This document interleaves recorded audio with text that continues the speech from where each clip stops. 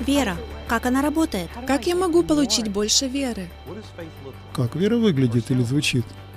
Правильно ли я использую свою веру? Как я могу заставить ее работать для меня?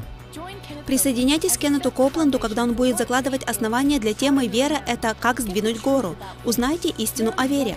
Узнайте, чем она является, а чем не является. Определите свою веру, развивайте ее. Узнайте, как она работает. И приведите ее в действие в своей жизни так, как Бог предназначил ей работать. Независимо от того, считаете ли вы себя хорошо сведущими в вере и в том, как она работает, или же вы только узнаете азы. Это возвращающее к основам учение перефокусирует ваше понимание и поможет вам двигать горы в вашей жизни.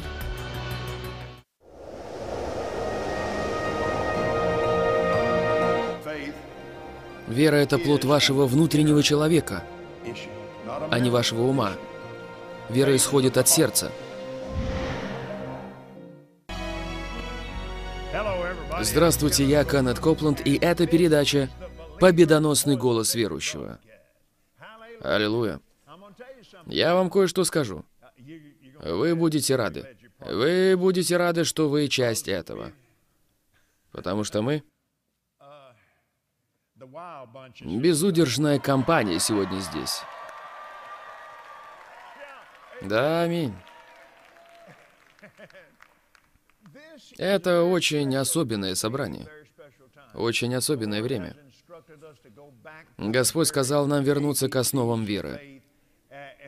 И как я уже говорил на прошлой неделе, и мы работаем с конспектом, я составил этот конспект 8 августа 1967 года. Это самое раннее, к чему я могу обратиться. Аминь. Поскольку именно в то время мы с Глорией начали узнавать эти вещи и учиться этим вещам.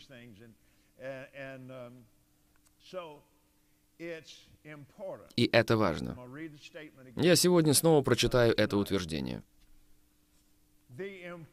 Важность служения, избавления и освобождения должна стать еще более ясной и необходимой. Когда вы читаете Римлянам 10.17, что вера приходит от слышания, а слышание от Слова Божьего.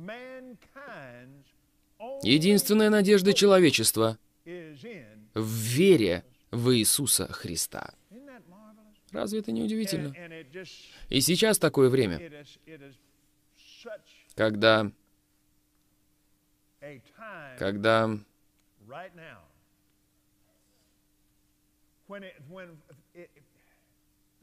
Спасибо тебе, Господь. Сейчас по всей земле идет такое движение Божье. Понимаете, это не то, что вы видите по телевизору. Нет. Но оно происходит, и оно намного больше всего того, что показывают в новостях. В духе всегда идет гораздо большее движение, нежели то, которое есть в этом естественном мире. Никогда этого не забывайте. Никогда не будьте захвачены и увлечены тем, что делает дьявол. Он неудачник и проигравший. Он был полностью побежден. У него нет никакой силы и власти. Брат Копланд, что вы имеете в виду? Вы этого не знали? Что ж, это не... Что ж, наверное, сейчас. Это является сейчас моим посланием. Поэтому давайте обратимся к посланию к евреям.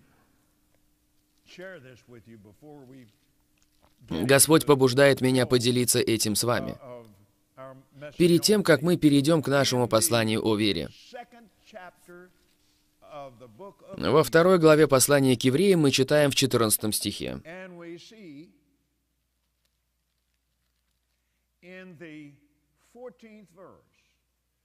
А как дети причастны плоти и крови,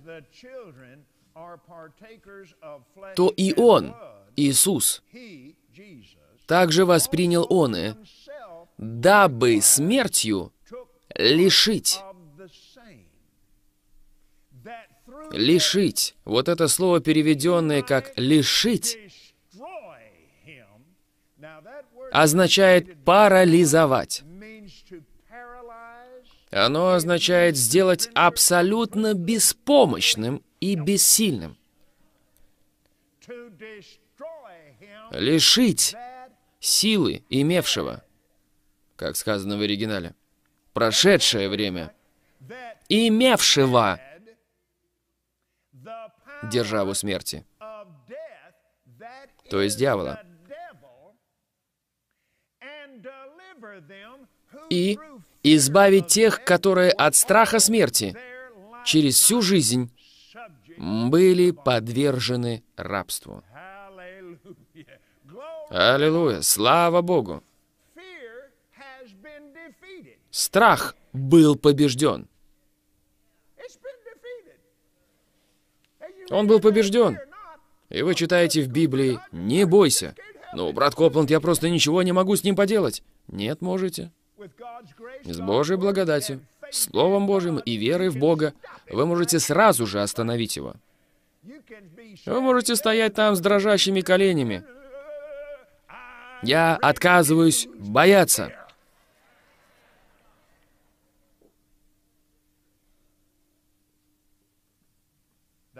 В тот вечер, когда нашей внучке, Линси, дочке Келли, которой было 11 лет, поставили диагноз гнойный менингит, я не буду рассказывать всю историю, но врачи сказали Келли. Суть их слов была следующим. Она до утра не доживет. И Келли сказала, что этот страх просто сошел на нее, подобно тяжелой темной туче.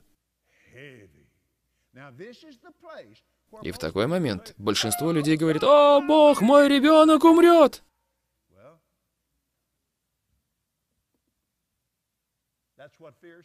Что ж, это то, что говорит страх. Помните, когда пришел человек и сказал Иаиру, «Не утруждай больше учителя. Твоя дочь умерла». Иисус стоял рядом, и он повернулся к Иаиру. В синодальном переводе Библии говорится «Не бойся». Дословно Иисус сказал «Останови страх, только верь, и она будет сделана целостной». Как Иаир остановил страх? На основании силы слов Иисуса. В его словах была сила, чтобы остановить страх. Аминь. Вы думаете, этого больше нет? Аллилуйя. Аминь. Келли повернулась к своей сестре Терри и сказала, «Я отказываюсь бояться». И Келли сказала, «Папа, этот страх просто раз...» Она сказала, он просто испарился. Она сказала, он стал таким слабым. Минуту назад казалось, что он был таким сильным и таким тяжелым. Но как только она сказала, «Я отказываюсь бояться во имя Иисуса», и мы с Глорией приехали туда в ту ночь. Мы были в другом месте, мы приехали в больницу, на нас надели странные защитные костюмы. Ну, не совсем такие, но в любом случае. Да, мы были полностью спрятаны в них, когда зашли в тот инфекционный бокс. И мы стали по обе стороны у кровати Линси. Я сделал и сказал то, что Господь сказал мне сделать и сказать. Я уперся в нее своим пальцем. И это единственный раз за все эти годы, когда Господь сказал мне сделать это таким образом. Но именно поэтому вам нужно прислушиваться. Я сказал, Линси, я обращаюсь к помазанию Божьему, которое внутри тебя. Прямо сейчас удали эту болезнь и немощь. И до этого все, что она говорила, было чем-то бессвязным. Она большую часть времени была в бреду. И вдруг она сжала зубы и закричала. «Дедушка! Я могу слышать ее сейчас! Я исцелена во имя Иисуса!»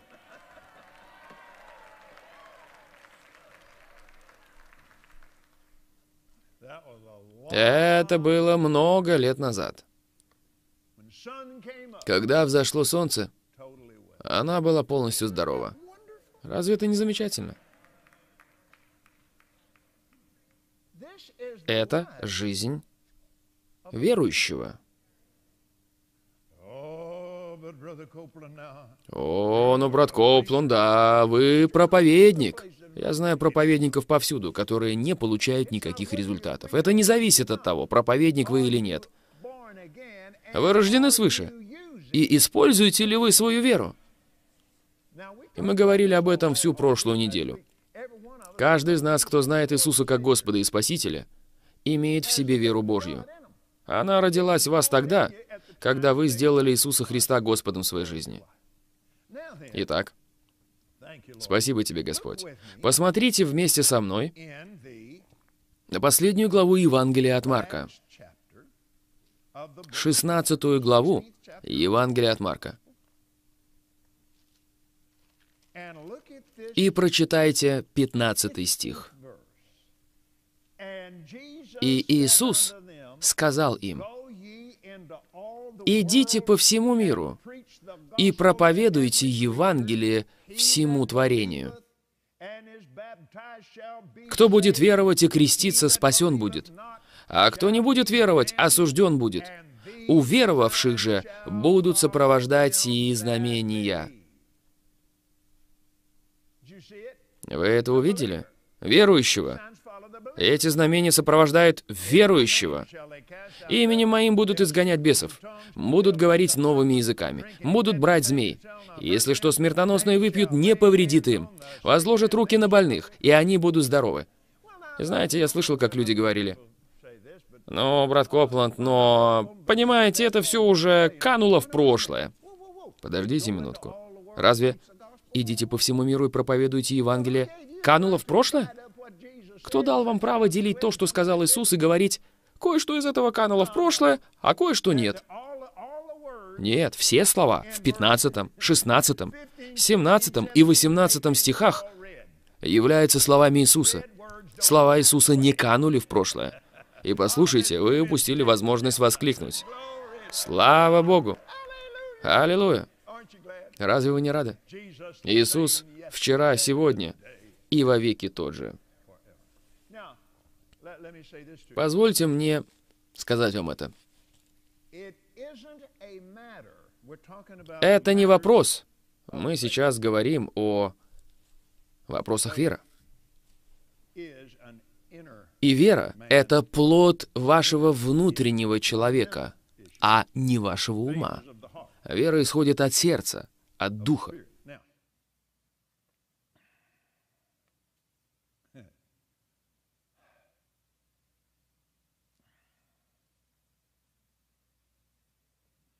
Спасибо тебе, Господь.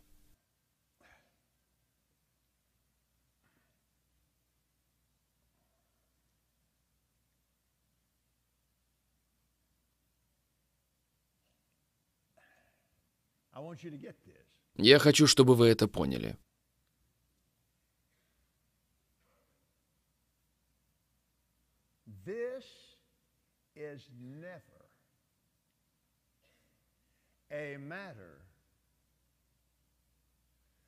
Всегда вопрос не в том, что Бог этого не сделал. Я говорю о том, когда вы молитесь за людей. Молитесь за себя. Ну, знаете, брат Копланд, там вчера были люди, которых Бог просто не исцелил.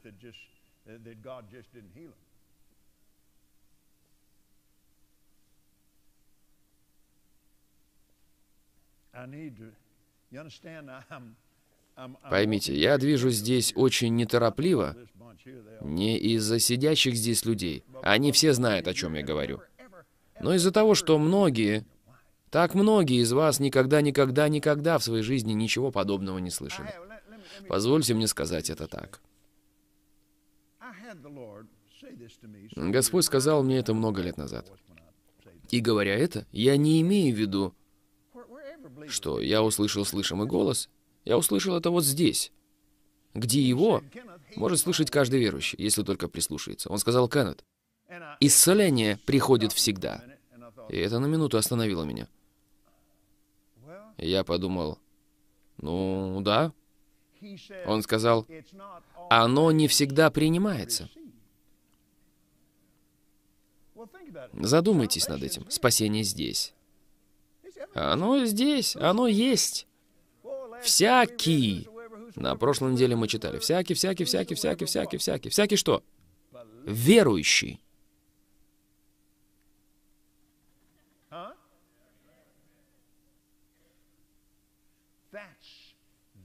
Это ключевой момент. Вера. Он сказал, вопрос не в том, что я не говорил. Вопрос в том, что я не был услышан. Не был услышан.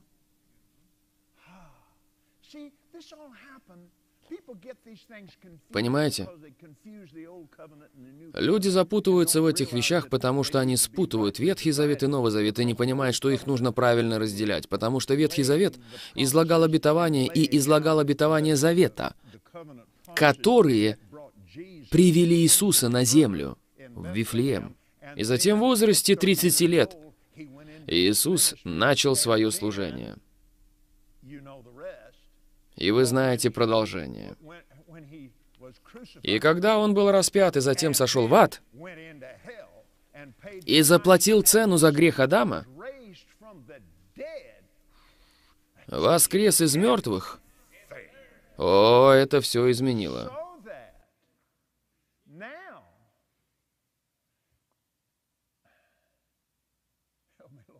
Помоги мне, Господь.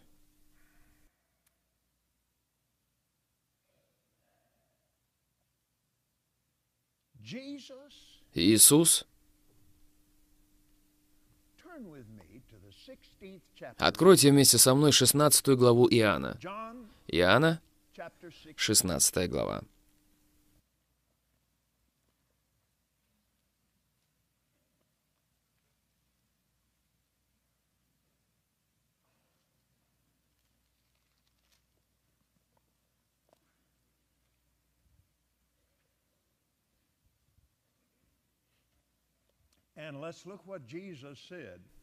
И давайте посмотрим, что сказал Иисус. Он говорит здесь о том, что будет после того, как Он воскреснет из мертвых.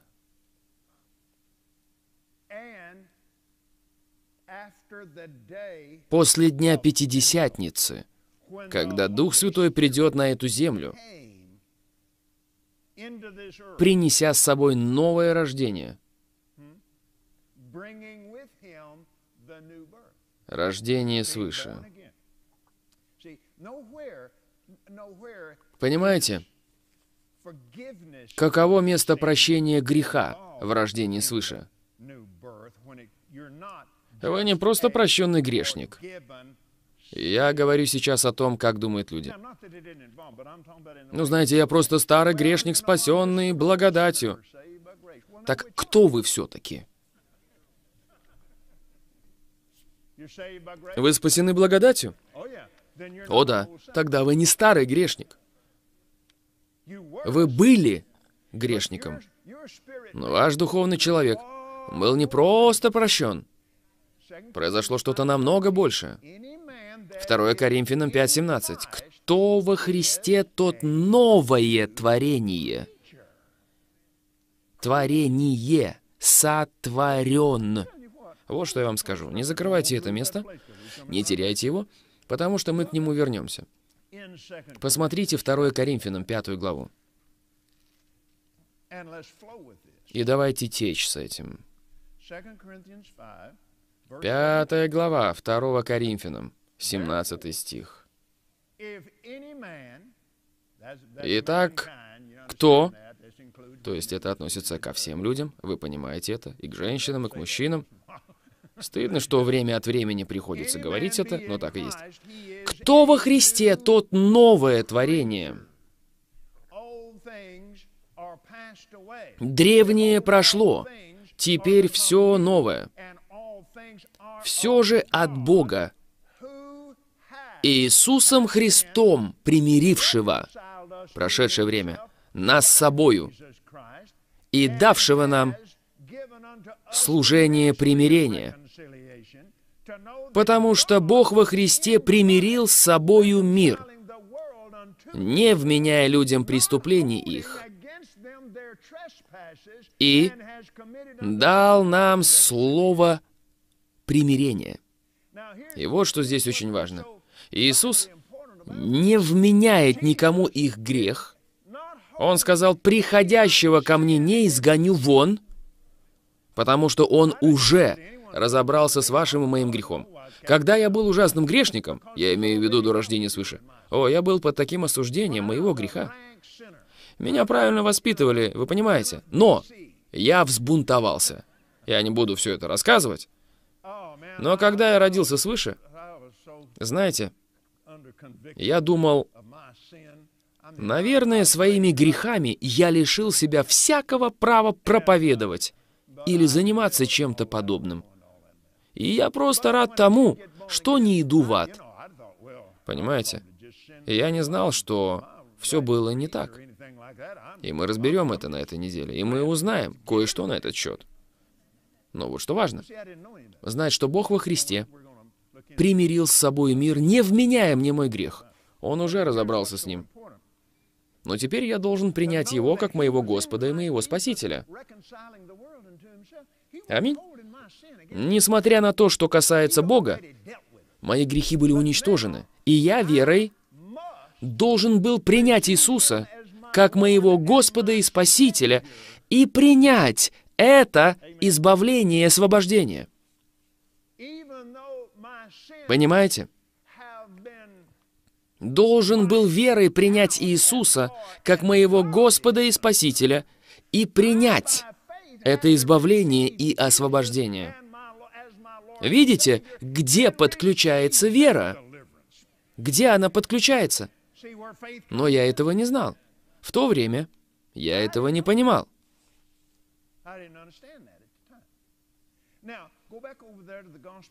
Теперь вернитесь к Евангелию от Иоанна, которое я сказал вам не закрывать. 16 глава.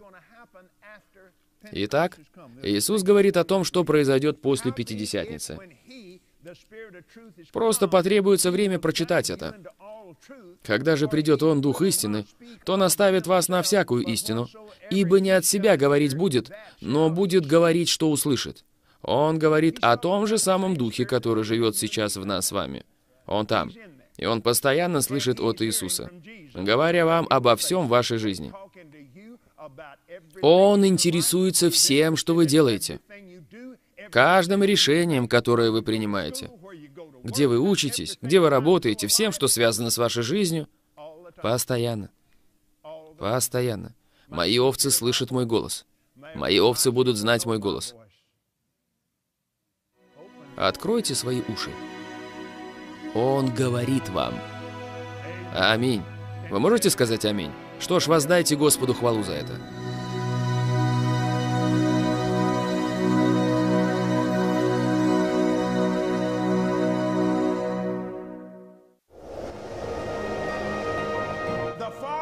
Отец говорил это, Иисус верил в это, и Он говорил это. Это вера в действии.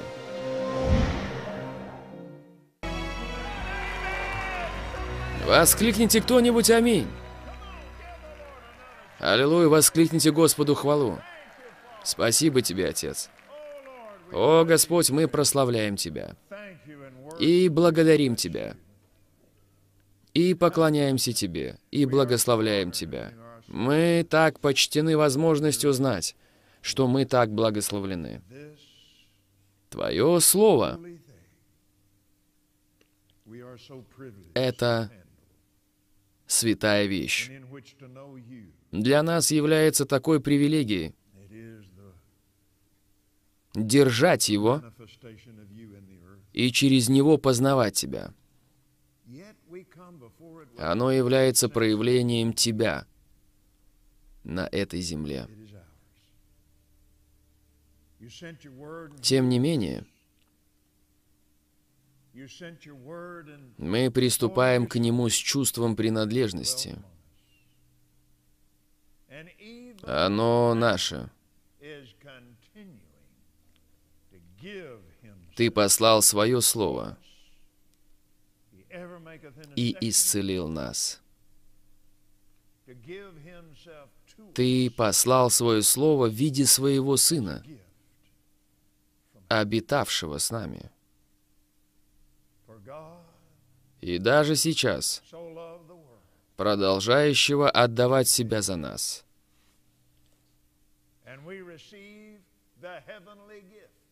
Он всегда ходатайствует за нас, чтобы отдавать себя нам как дар с небес.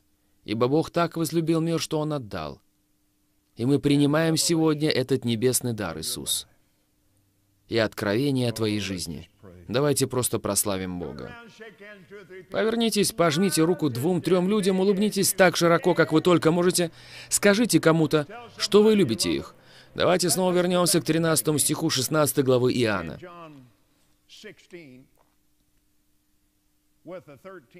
Когда же придет Он, Дух истины? И мы знаем, что Он пришел, верно?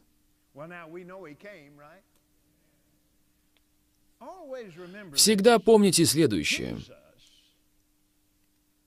Иисус, Сын Божий. Да, безусловно. Сын живого Бога. Но Он не... Итак, поймите это, потому что скажу вам, когда я впервые это услышал, у меня, можно сказать, волосы встали дымом. Я сказал просто «О...» Но это было так замечательно. Аминь. Он ничего не делал в своем служении. Вы меня слушаете? Послушайте. Не нужно ходить и говорить всем, ну, брат Коплан так сказал. Нет, нет, нет. Говорите, так сказала Евангелие от Иоанна. Вы понимаете? Не принимайте это просто потому, что я так сказал или какой-то другой проповедник. Возьмите свою. Если у вас нет Библии, приобретите ее для себя. Возьмите свою Библию и делайте в ней пометки. Если у вас Библия, в которой нельзя делать пометки, просто положите ее под стекло, повесьте ее на стену, а затем купите такую, в которой вы можете делать пометки, и делайте их в ней.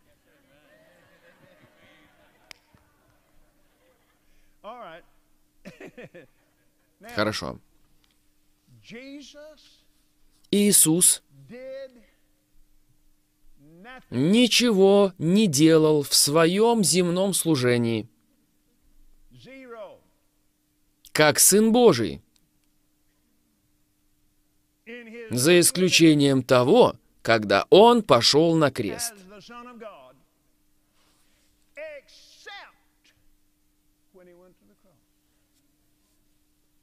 Кем он себя называл? Сыном человеческим.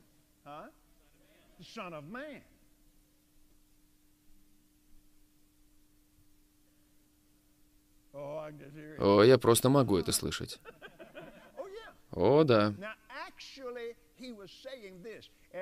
Фактически, он говорил следующее. Если вы изучите этот вопрос, у меня нет времени сейчас это делать, но он фактически говорил. И это будет правильным переводом. Сын Адама.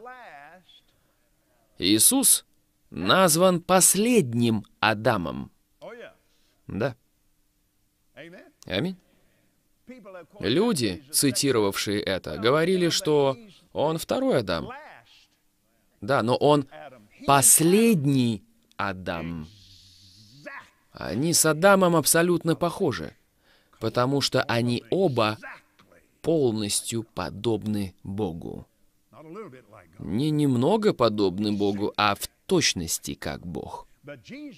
Но Иисус пришел и прошел через все искушения, с которыми только может столкнуться какой-либо человек, где-либо, когда-либо, в каком-либо возрасте, и Он не поддался им.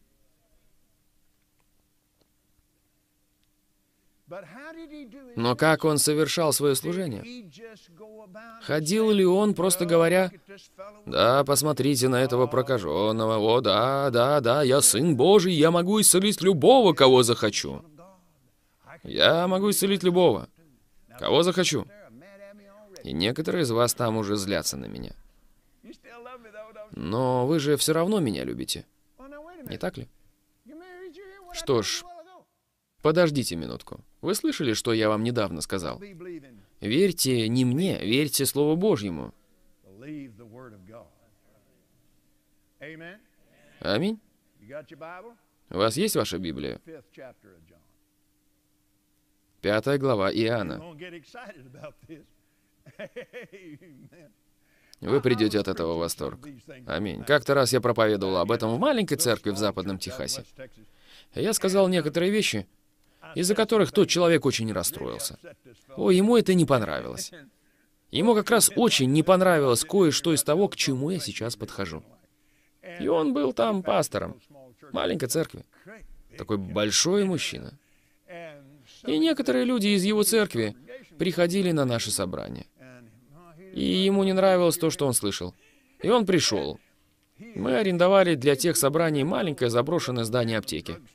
И те собрания шли 21 день. Там у нас была небольшая сцена. Она была не выше... Небольшая сцена не выше... Да, как вот эти ступеньки. Я стоял на ней. И он вошел через заднюю дверь.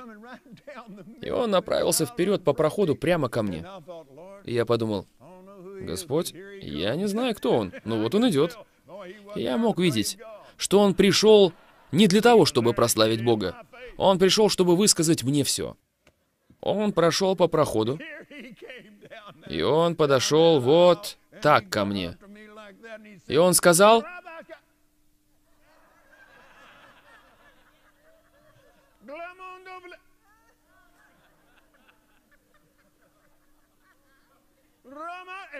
и просто упал на пол. Этот методистский пастор когда-то был алкоголиком и водителем грузового автомобиля, но Иисус вошел в его жизнь и освободил его от алкоголя. И он был сильным человеком. И я, стоя там, сказал, Иисус сошел в ад и заплатил цену за наш грех. И я подкрепил свои слова Писанием. Но он никогда такого не слышал, и это разозлило его. Иисус не сходил в ад. Он пошел на крест, но он не сошел в ад. Что ж, Писание говорит, что сошел, понимаете? И он пришел, чтобы задать мне, чтобы отчитать меня. И он указал на меня пальцем, и Бог просто крестил его духом, и он упал на пол.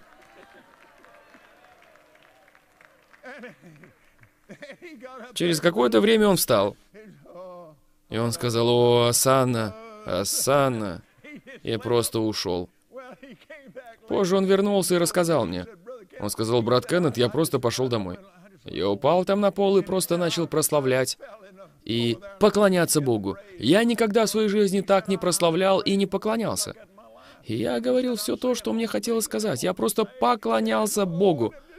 Я остановился и спросил Иисус, «Ты сошел в ад?» Господь ответил, «Тебе лучше в это верить, дружище.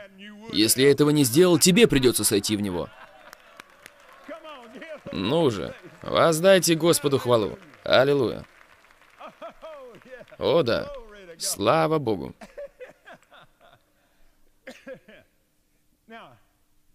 Я сказал вам открыть пятую главу Иоанна, верно? Позвольте мне обратиться к ней вместе с вами. Пятая глава Иоанна. Я хочу, чтобы вы обратили здесь на кое-что внимание. Это все равно, что рубануть топором по плотскому религиозному разуму.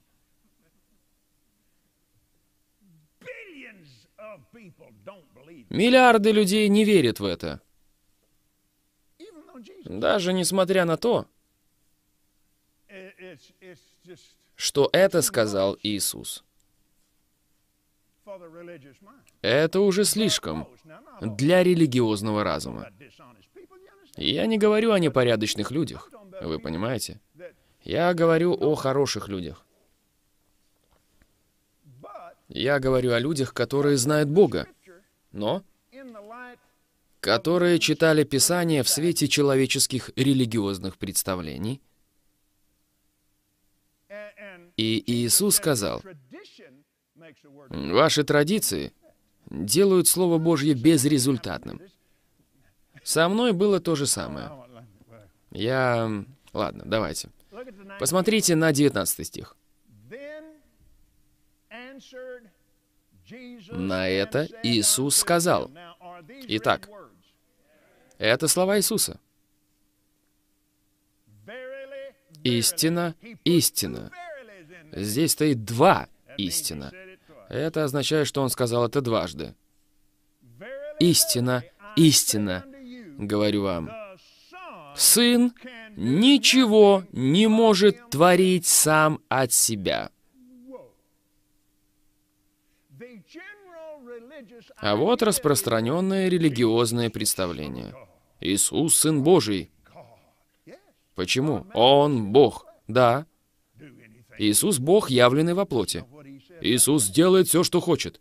Это не то, что Иисус там сказал.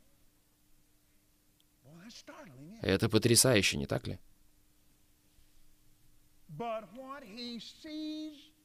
Ничего не может творить сам от себя, если не увидит Отца, творящего. Ибо что творит Он, то и Сын творит так же. Хорошо? Посмотрите. Подождите минутку. Мы еще там не закончили. Посмотрите 30 стих. «Я ничего не могу творить сам от себя».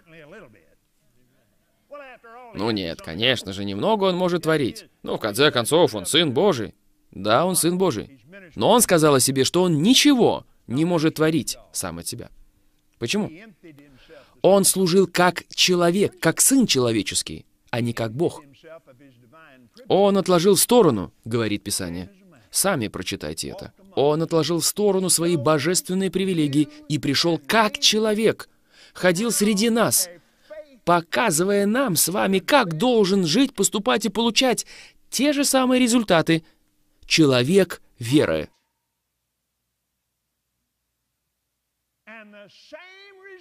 Получать те же самые результаты. Ну, брат Копланд, вы слишком далеко зашли. Я надеялся, что вы так подумаете. Аминь. Посмотрите 14 главу Иоанна.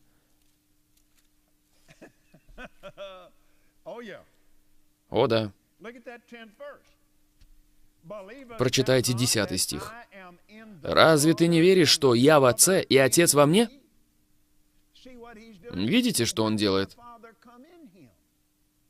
Когда Отец вошел в него?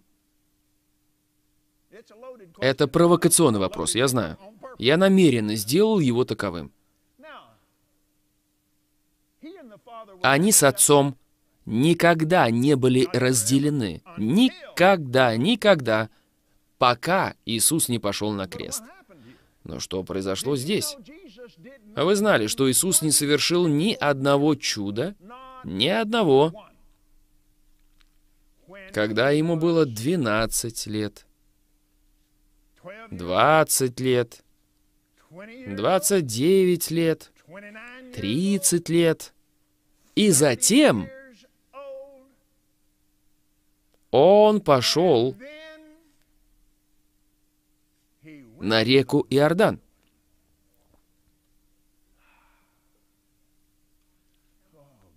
О, слава! Мой Господь и Спаситель пошел на реку Иордан, и он был крещен в воде. И на него сошел Дух Святой. Точнее сказать, в него.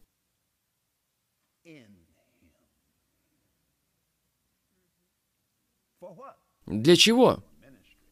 Для служения.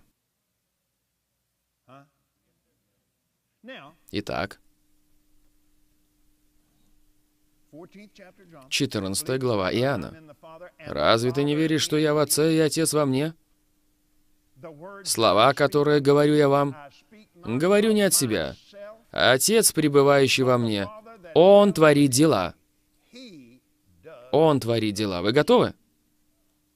Вы действительно готовы?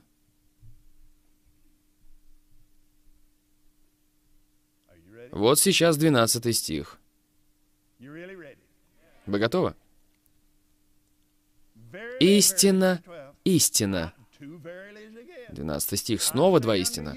Истина, истина, говорю вам, верующие в Меня, дела, которые творю я, и Он сотворит.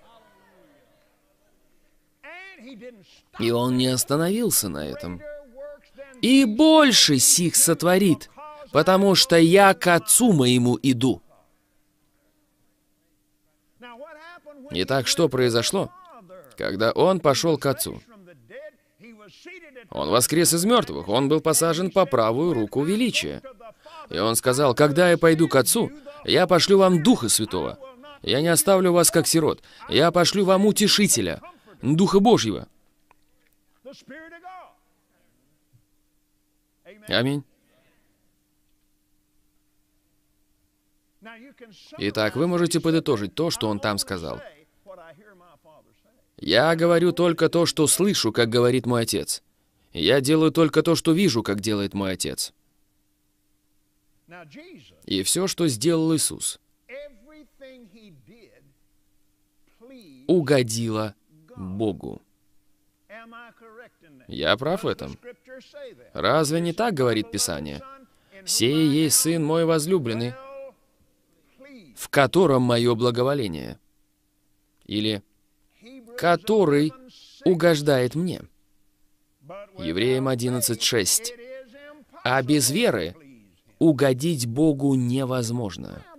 Да, но он Сын Божий. Да, но подождите минутку. Он не служил как Сын Божий.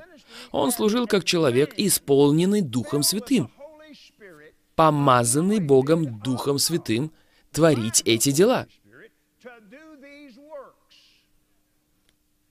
И послушайте, он сказал, «Я говорю только то, что слышу, как говорит мой Отец».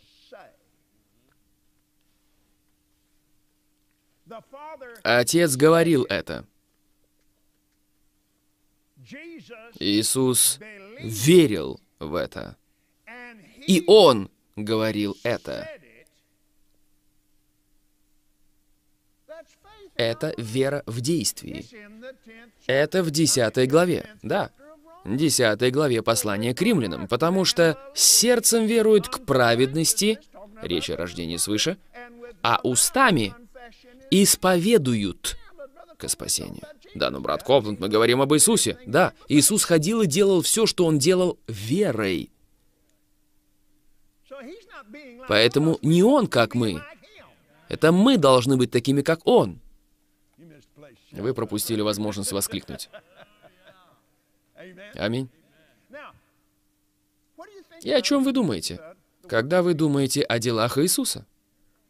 О чудесах, да, исцелениях, воскрешении мертвых, да, и это правильно. Но подумайте сейчас о том, что он сказал.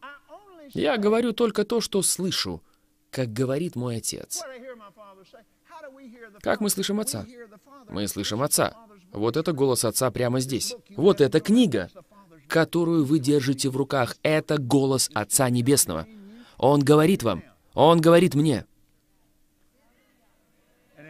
Дух Божий в вас. И Он сейчас прямо здесь. Если вы когда-либо слышите что-то, что идет в разрез с этой книгой, вы просто отбрасываете это. Аминь. Как мы тогда можем творить дела Иисуса?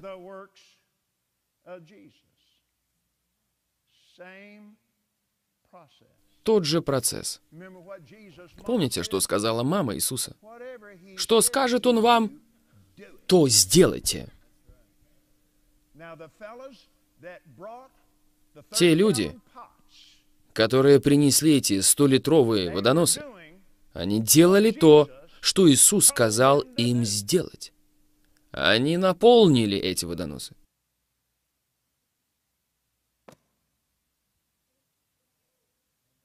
Они наполнили.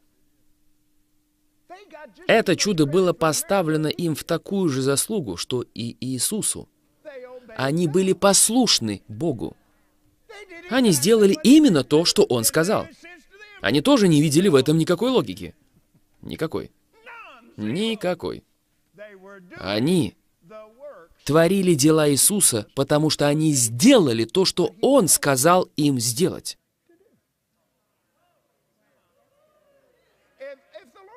Если Господь...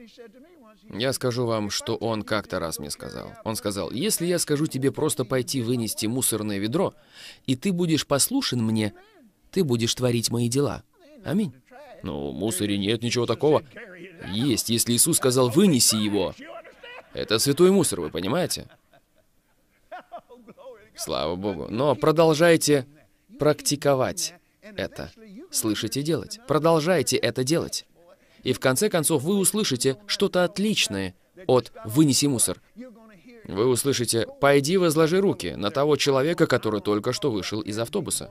Вы услышите, как он скажет «пойди засвидетельствуй тому человеку, он родится свыше, если ты пойдешь и расскажешь ему обо мне».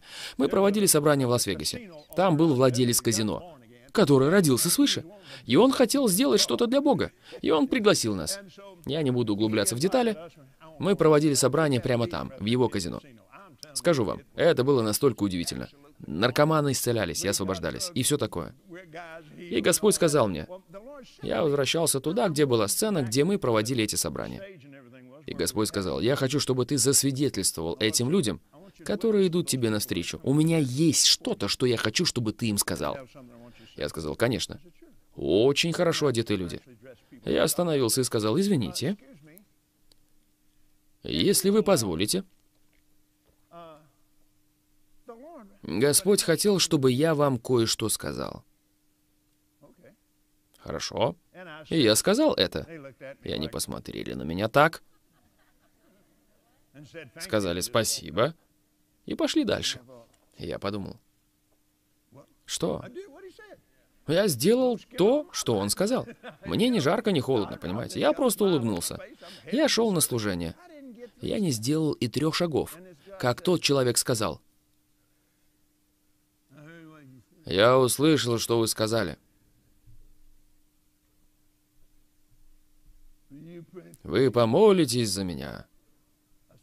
Я ответил, конечно. Пойдемте сюда. Там был мужской туалет. Мы зашли туда. Вы нужны мне. Я услышал, что вы сказали.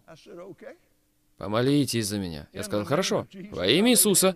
Я возложил на него руки и помолился за него. К тому времени, как я закончил молиться за него, он был совершенно трезв. Он сказал, я хочу поблагодарить вас. Я отступивший проповедник. И он сказал, я хочу, чтобы вы знали. Благодарение Богу, я освобожден.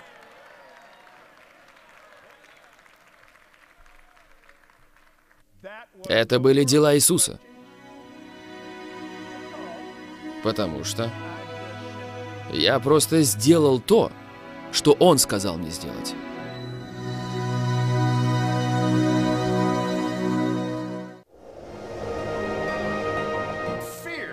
Страх противоположен вере. Тем не менее, и страх, и вера — это духовные силы, работающие по одним и тем же духовным законам.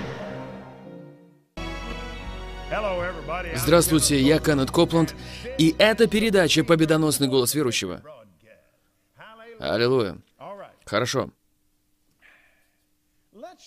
Давайте поговорим о... Фактически, давайте вернемся к 11 главе Евангелия от Марка, с которой мы начали на прошлой неделе. И мы начнем говорить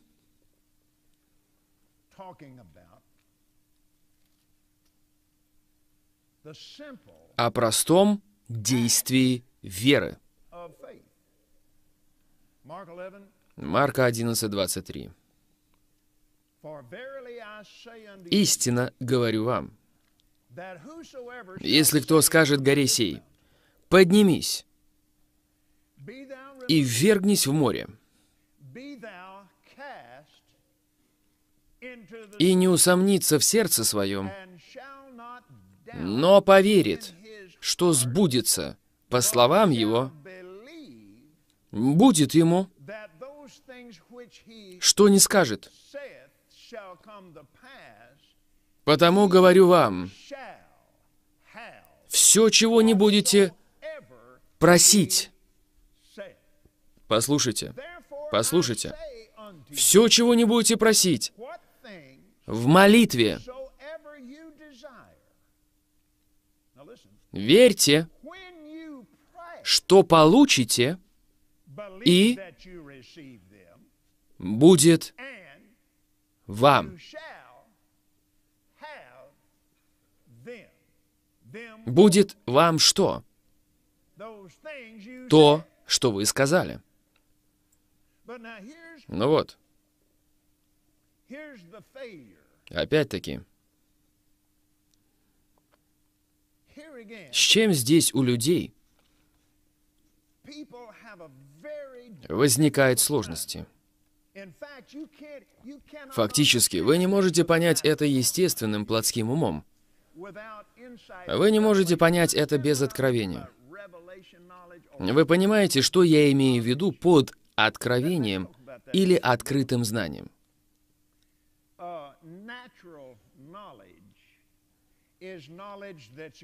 Давайте поговорим немного об этом.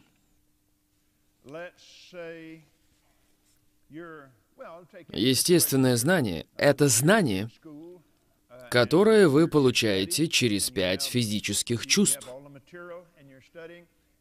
Допустим, возьмем такую ситуацию. Вы где-то учитесь, и у вас есть все материалы, и вы учитесь, и преподаватель учит, и преподаватель весьма образованно знает, о чем он говорит. И вы там, чтобы учиться. И вы внимательны, и вы занимаетесь. Что ж, все нормально, за исключением того, что это естественное человеческое знание поступает через ворота пяти физических чувств. Это знание с помехами. Сколько уже наши учебники пересматривались и исправлялись? О, бесчисленное количество раз. Иногда по два или три раза в год, если вы в курсе, особенно в это время. В чем разница? Открытое знание или откровение. Я не говорю... Я не говорю о книге Откровения, вы понимаете. Я говорю об открытом знании или откровении, знании, которое не пришло через ваши пять физических чувств, но пришло напрямую от Духа Святого в ваш дух.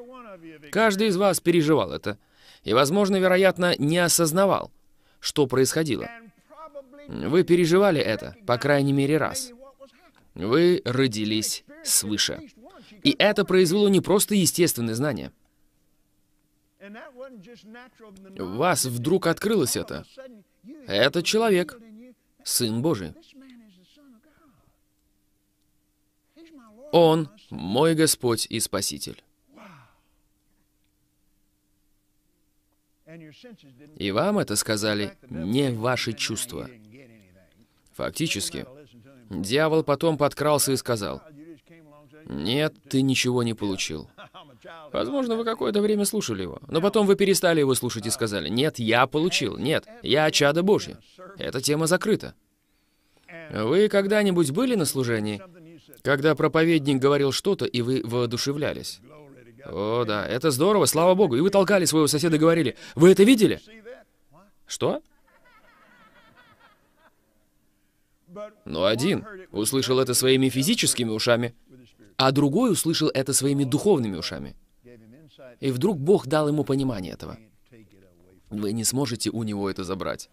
Оно уже там и останется. И каждый раз, когда вы читаете этот стих, этот стих говорит «Привет». Аминь. Это духовная пища. Иисус сказал, «Не хлебом одним будет жить человек, Ваше тело живет хлебом. Это физическая пища. Он сказал, что дух, то дух, что плоть, то плоть. Но вашему духу нужно Слово Божье. Но всяким словом, исходящим из уст Божьих. Вера приходит от слышания, а слышание от Слова Божьего. И когда применяется вера в то время, когда звучит помазанное учение, как это происходит здесь сейчас, тогда открывается знание. И вы думаете, да, я вижу это. Я вижу. Есть духовное понимание. И вы на самом деле видите что-то. Вы не видите это своими естественными физическими глазами. Но вы действительно это видите. Позвольте мне забросить кое-что драгоценное в ваше сердце. Писание говорит, там же, в пятой главе 2 Коринфянам, о которой мы говорили вчера. Мы ходим верою, а не видением. Писание также говорит, когда мы смотрим не на видимое, но на невидимое. Когда вы смотрите на что-то, чего вы не можете видеть. Помните Фому? Он сказал, «Пока не увижу раны на его руках и не вложу руки моей в ребра его, не поверю». Видите? И Иисус приходит и говорит, «Фома, перестань быть неверующим, ибо благословлены не видевшие и уверовавшие». И этот мир говорит, видеть значит верить. Если я не могу этого увидеть, я в это не верю. Это то, что сказал Фома тогда. Если я не могу этого почувствовать, я в это не верю.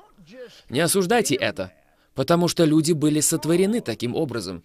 Есть место для этой естественной веры. Но, когда вы видите это в духе, если вы видите это в духе, вы можете этому верить. Вы можете этому верить, потому что когда вы видите это в духе, приходит вера. О, оно стоило того, чтобы прийти сегодня сюда. Аминь. Итак, давайте посмотрим на это еще раз. Пока не увижу, не поверю. Не смейтесь над этим. Не отвергайте это. Вы пришли сегодня сюда, и каждый из вас сел в это кресло без каких-либо раздумий. Почему? У вас была уверенность и вера в то, что это кресло выдержит вас. Вам лучше верить тому, что вы видите. Вы выходите на улицу, и по улице едет грузовик, и вы видите его. Вам лучше посторониться. Вам лучше верить тому, что вы видите. Ну, я просто не верю, что там едет этот грузовик. Понимаете? Превратив вас в блин. Нет. Но это является частью этого естественного мира. Если это единственная имеющаяся у вас информация, это будет лгать вам. Сатана действует в этом естественном мире. Он Бог этого естественного чувствительного мира. Но стоит вам вывести его на арену веры, и там у него нет никакого шанса. Ни один человек не может. Ни один человек не может победить дьявола в естественном мире. Там он, Бог. Там он живет. Но когда вы выводите его сюда, на арену веры, вы выводите его сюда, и вы не верите его лжи, у вас есть власть над ним в имени Иисуса. Во имя Иисуса. Я недвижим, скажите это. Я недвижим тем, что я чувствую. Я недвижим тем, что я вижу. Я движим только тем, чему я верю. И я верю Слову Божьему. Это здорово, не так ли? Хорошо. Итак, самая большая проблема с этим в Марка 11.23 — это верить, что ваши слова могли иметь к чему-либо какое-либо отношение. Это трудно принять естественному уму, потому что люди постоянно говорят все подряд. Но этот стих в Марка 11.23 работает постоянно. До конца этих передач. Я говорю это верой. Мы настолько углубимся в это, что у вас впредь больше никогда не будет никакого сомнения насчет того, для чего предназначены ваши слова и что они делают. Вы присоединяетесь ко мне в этом? Хорошо, третья глава Малахии. Бог сказал, «Дерзостны предо мной слова ваши». Писание говорит, смерть и жизнь во власти языка. Спасены вы или нет, в конце концов, вы спаслись верой в ваших устах и в вашем сердце. Но вы по-прежнему можете говорить слова страха, сомнений и неверия. Ну, брат Копланд,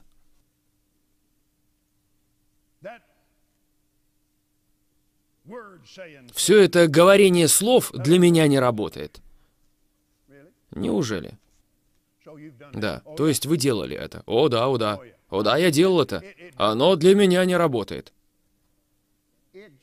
Оно только что сработало. Он говорил, оно для меня не работает.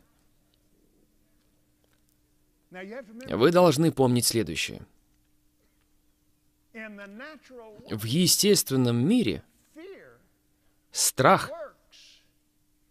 работает подобно вере. Страх — это духовная сила. Первоначально это была вера Адама. Когда он пал, пала и она, и превратилась в страх. Позвольте мне продемонстрировать вам это, потому что как только вы это увидите, оно станет настолько проще, поскольку, понимаете, вы уже знаете, как бояться. Вы уже знаете, как волноваться. Здесь есть кто-нибудь, кто не умеет волноваться? Что вы делаете? Размышляете над ложью дьявола. Вера приходит от слышания. А слышание — Слова Божьего. Страх приходит от размышления над ложью, от слышания лжи дьявола. Сатана ничего не может вам сделать. Вы — рожденное свыше чада живого Бога. Он ничего не может вам сделать без страха. Точно так же, как Бог ничего не может для вас сделать без веры. Это важное связующее звено. Страх, работающий в одном направлении, и вера, работающая в другом.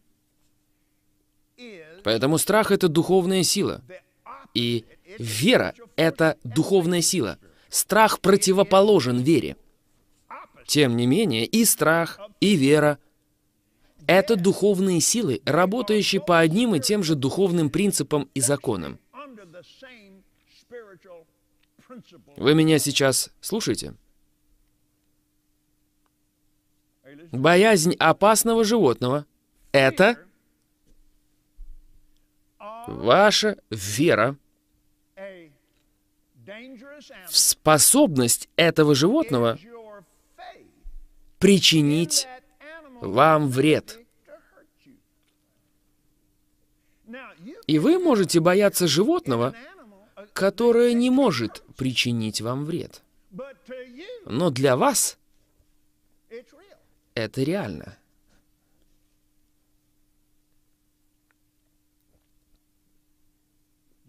Вы все еще со мной? Хорошо. Теперь давайте вернемся к Марка 11, 23 и 24. Давайте еще раз вернемся к 24 стиху. «Потому говорю вам, все, чего не будете просить...» Итак, это сфера, в которой так многие честные, искренние, замечательные христиане терпят поражение – и дают дьяволу огромное место в своей жизни, сами того не зная. Со мной такое было.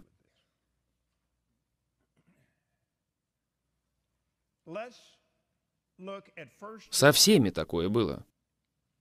Давайте посмотрим первую главу 1 Иоанна. Мы будем следовать принципам веры. Мы решим проблему веры. Седьмой стих. «Если же ходим во свете, подобно как Он во свете, то имеем общение друг с другом, и кровь Иисуса Христа, Сына Его, очищает нас от всякого греха. Если говорим, что не имеем греха, обманываем самих себя, и истины нет в нас. если исповедуем грехи наши, и так заметьте, он говорит «наши», это написано не для этого мира. В следующем стихе, точнее, в следующей главе, «Дети мои, сие пишу вам, чтобы вы не согрешали, а если бы кто согрешил, то мы имеем ходатая пред Отцом Иисуса Христа, праведника. Он есть умилостивление за грехи наши, и не только за наши, но и за грехи всего мира. Но он пишет это рожденным свыше христианам, которые оступились. Если мы исповедуем грехи наши, то Он верен и праведен. Итак, Он верен и праведен.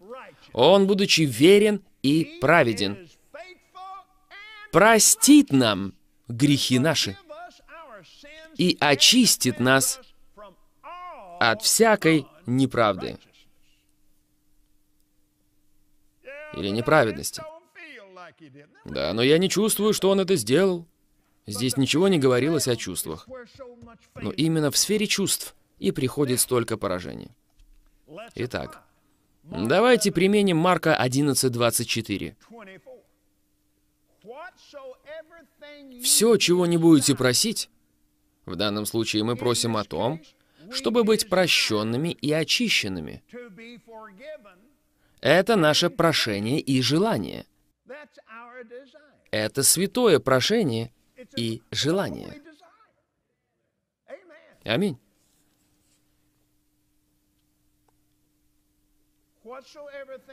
Все, чего не будете просить в молитве, верьте,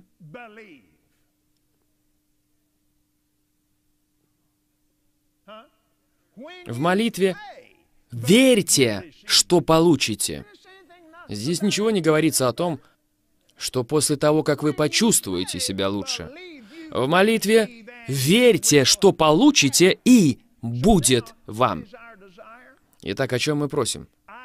Я прошу о том, чтобы быть прощенным и быть очищенным от всякой неправедности. От всякой неправедности. И Бог верен и праведен. У меня есть на этот счет Его Слово.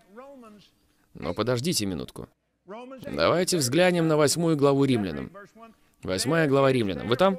Восьмая глава, первый стих. Итак, нет ныне. Скажите ныне. Ныне, ныне, ныне. Вы не можете сказать ныне про что-то, что было раньше. Каждый раз, когда вы говорите «ныне», оно обновляется. Итак, нет ныне никакого осуждения тем, которые во Христе Иисусе живут не по плоти, но не по своим пяти физическим чувствам, не потому, что они чувствуют, но по Духу, по Слову Божьему. Потому что закон, скажите закон, это духовный закон. Потому что закон Духа жизни во Христе Иисусе освободил меня от закона греха и смерти.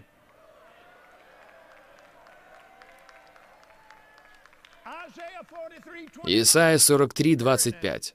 Быстренько. 43 глава Исаи. Я, я сам изглаживаю преступления твои ради себя самого. Почему он не сказал «ради тебя и меня»? «И грехов твоих не помяну». Припомни мне, станем судиться. Говори ты, чтобы оправдаться. О чем он здесь говорит? Теперь примените это к тому, что сказал Иисус, и примените это к тому, что мы только что прочитали в первом Иоанна. Как только вы поверили, понимаете, Иисус является верным изглаживателем. Но Бог сказал, «Я сделал это ради себя самого». Я спросил, «Господь, о чем ты говоришь? Ты сделал это ради себя самого?» Он ответил, «Да». Я спросил, «Почему?» Он ответил, «Припомни мне». Я спросил, «Бог, припомнить? Ты не забываешь?» Он сказал, «Я тоже забываю. Я только что говорил тебе, что я забуду это». Он спросил, «Тебе хочется помнить что-то плохое про твоих детей?» Я ответил, «Нет». Он сказал, что ж, я тоже не хочу помнить про тебя ничего плохого. Он сказал, припомни мне. Я спросил, что? Он сказал, Кеннет, ты попросил меня, и я простил и изгладил твой грех. Теперь ты работаешь с чистой книгой. Заполняй ее верой. Заполняй мой разум. Послушайте, подождите, пока еще не восклицайте. Нет, пока еще не восклицайте, послушайте. Он сказал, я очистил свою память от этого греха. Кровь Иисуса уничтожила его. Теперь верой ты говори мне, кто ты во Христе. Ты говори мне, что ты верующий.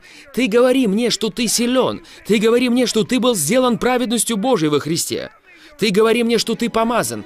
Ты говори мне. Я ответил, хорошо, начнем. Что вы делаете? Вы исповедуете, кто вы в нем, во Христе. Теперь восклицайте.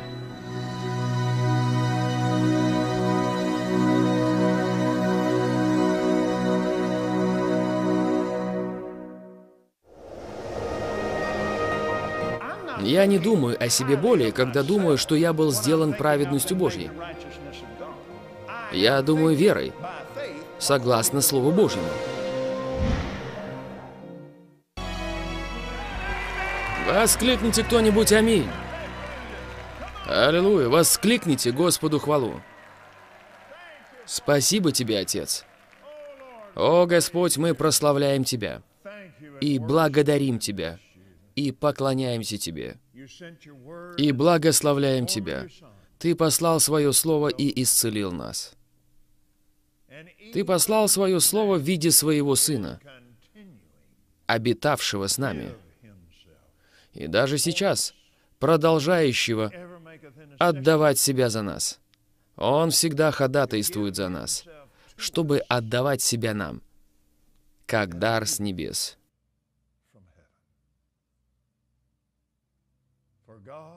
Ибо Бог так возлюбил мир, что Он отдал. И мы принимаем сегодня этот небесный дар. Иисус.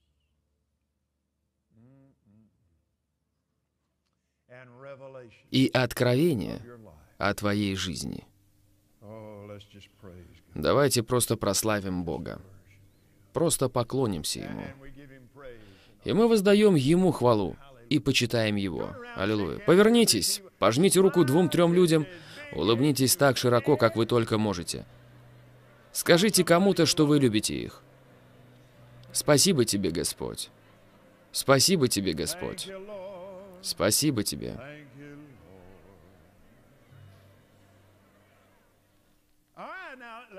Хорошо, давайте снова применим это. Потому, говорю вам, итак, кто это сказал? Марк 11, 24. Это Иисус. Поэтому относите это лично к себе. Потому Он сказал мне, «Все, чего не будешь просить, я прошу быть полностью очищенным от всего, что я натворил и сделал». Но дьявол продолжает приходить и говорить, да, ну, да, знаешь.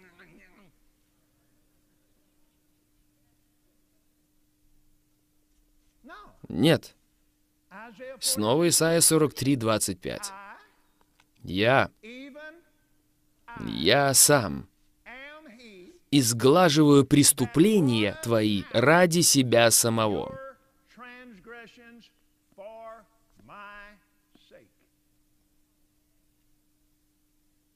И опять-таки я спросил, ради себя?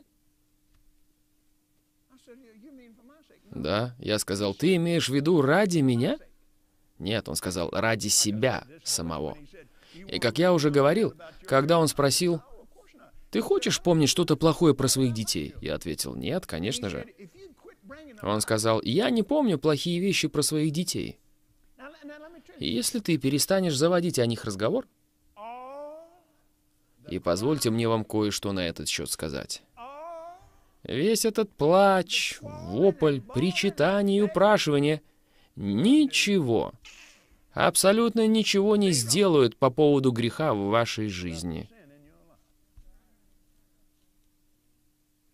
Но я так сожалею. Я знаю это. Поэтому просто преодолейте это. Если бы вы жили в одном доме вместе с Глорией Копланд, вы бы поняли эту фразу. На что ты указываешь, Лин?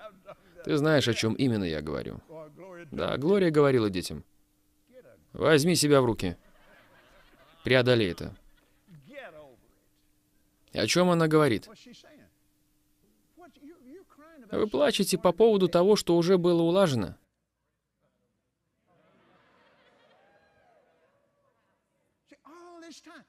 Понимаете, все это время, 75, 80 лет, вы могли осуждать себя и бить себя по голове, но я так сожалею, я такой недостойный. Бог это знает, я это знаю, вы это знаете. Замолчите. Но вы больше не недостойны. Я знаю, что для некоторых из вас это было своего рода пощечина, особенно если вы никогда такого не слышали. И вы привыкли плакать, вопиять и причитать о своей недостойности. Нет, вы были недостойны. Никто этого не достоин. Ну же, народ. Если бы недостойность... О, знаете, я просто недостойный, я не стоящий человек. Что ж, примите спасение. Старый, ветхий человек был недостойным, не стоящим и ничтожным. В любом случае, Иисус пошел за вас на крест. Знаете, я вырос в хорошей южной баптистской семье. И мы пели. Какой есть, какой есть, без единого оправдания. Какая замечательная песня. Но Он не оставил вас такими. Разве это не замечательно? Мы уже как минимум раз на этой неделе обращались к пятой главе 2 Коринфянам. Кто во Христе, тот новое творение. И в последнем стихе этой же главы мы читаем, «Ибо не знавшего греха Он сделал для нас жертвою за грех». Или грехом, чтобы мы в нем сделались праведными перед Богом или праведностью Божьей в нем. Говорю вам. Аминь. Вы и каждое рожденное свыше чада Божье. Как только вы спасаетесь, я скажу вам, я снова собираюсь выбить из-под вас ваши религиозные подпорки. Вы настолько праведны, насколько только когда-либо можете стать.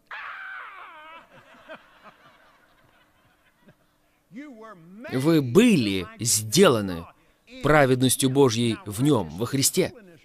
Итак, праведность и святость — это две разные вещи. Вы можете развиваться в праведности. Это замечательно. Становиться больше помышляющими праведно. Праведность является вашей броней. Но вам не нужно ходить и говорить, если бы я только мог стать праведным. Ну же, послушайте, Иисус сделал вас своей праведностью. Позвольте у вас кое-что спросить. Вы когда-либо совершили какую-либо праведность? Нет. Иисус когда-либо совершил какой-либо грех? Нет. Он, вашим и моим грехом, был сделан грехом, так чтобы мы его праведностью могли быть сделаны его праведностью.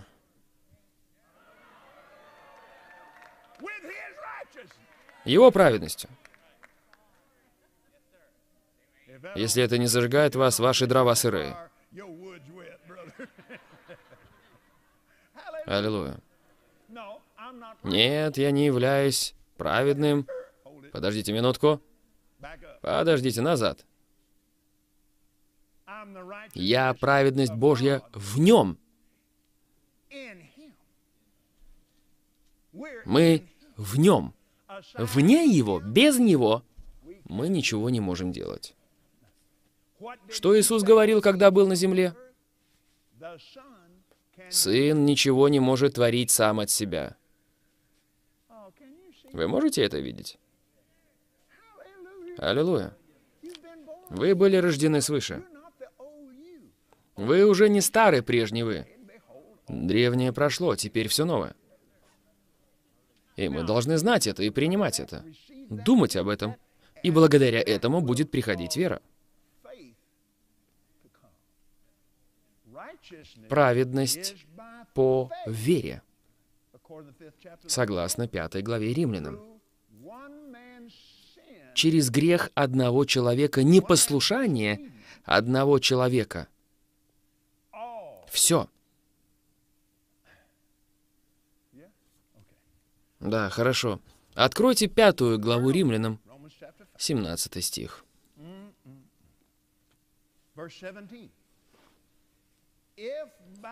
«Ибо если преступлением одного смерть царствовала посредством одного, то тем более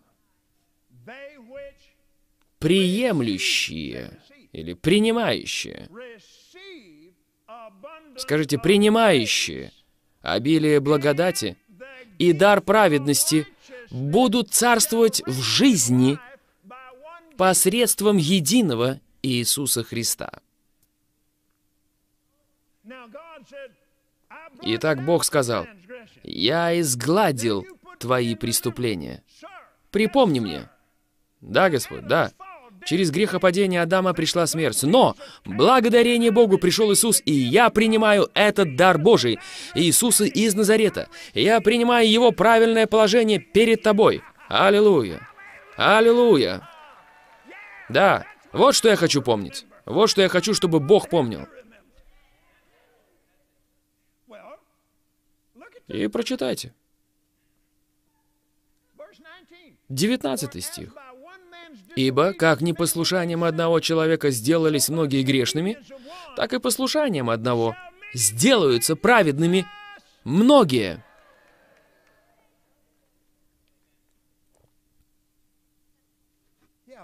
Да, хорошо. Давайте обратимся к третьей главе Римлянам. На прошлой неделе мы обращались к 12 главе. Давайте быстро взглянем на нее, потому что там кое-что есть в третьем стихе. «По данной мне благодати, всякому из вас говорю, не думайте о себе более, нежели должно думать. Но думайте скромно, по мере». Я перефразирую это, чтобы вы поняли, что оно несет. Не думайте о себе более, нежели должно думать, но думайте скромно, трезво, так, как Бог уделил вам меру веры. Итак, не думайте о себе более, нежели должно думать.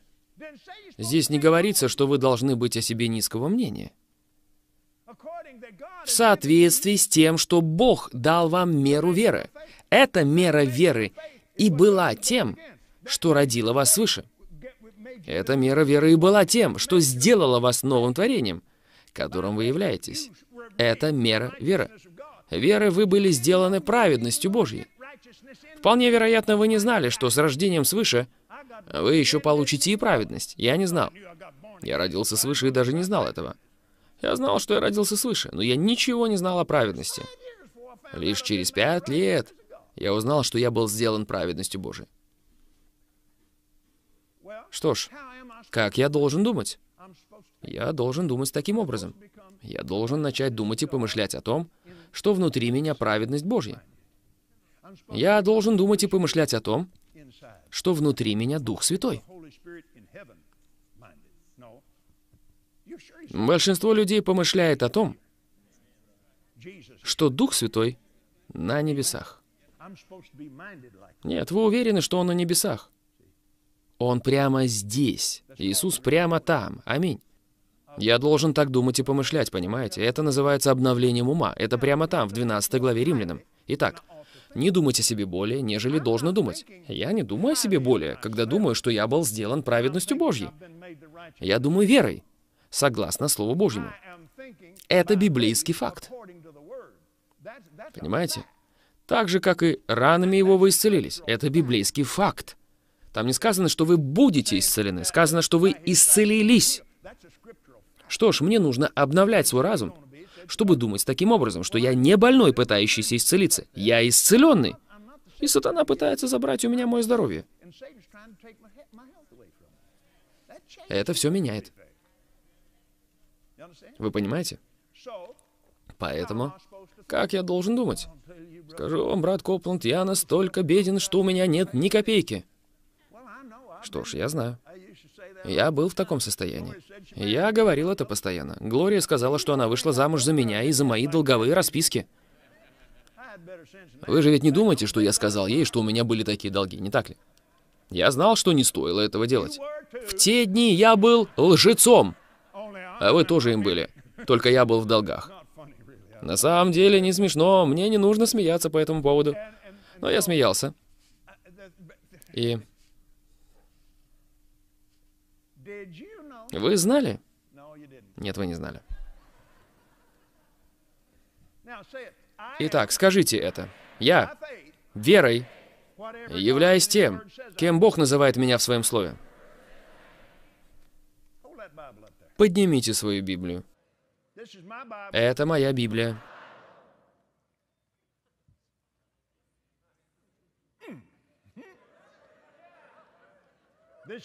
Это слова Бога, обращенные ко мне.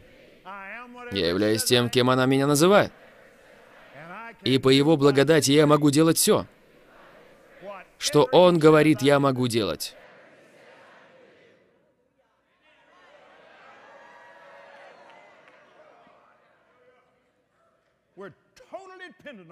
Мы полностью зависим от Слова Божьего. Полностью зависим от Него. Да, но я беден. Хорошо, Галатам 3 глава. Вы рождены свыше? Тогда вы не бедные. Но я думал, что я беден. Вот что бывает, когда вы думаете, вместо того, чтобы молиться и верить. Галатам 3 глава. Вы там? 13 стих. Христос искупил нас от клятвы или проклятия закона, сделавшись за нас клятвы или проклятием. Ибо написано, «Проклят всяк, висящий на древе, дабы благословение...» Скажите это. Благословение Авраамова распространилось на язычников. Итак, подождите минутку. Мы были язычниками, но мы больше не язычники. Язычник означает «без Бога». Это не означает, что ваши родители были не евреи. Так оно было в Ветхом Завете, но не в этом Новом Завете. Вы родились от родителей евреев. Бог ваш Отец, и Иисус ваш кровный брат, и Дух Святой родил вас. Мы привиты к лозе. Мы больше не язычники. У меня нет времени развивать эту тему, но обратитесь к второй главе послания к Ефесянам. Там говорится, помните, что вы некогда язычники по плоти. Аллилуйя. Дабы благословение Авраамова через Христа Иисуса распространилось на всех остальных нас, чтобы нам получить обещанного Духа, или чтобы нам получить то, что Дух пообещал Аврааму. Итак, он говорит о благословении Авраама. Десятая глава притч.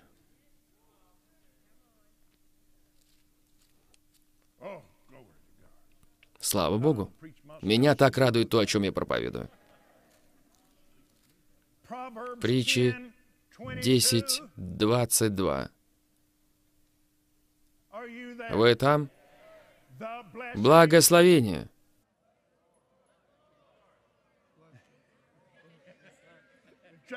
Трейси, ты готов к этому? Благословение Господне.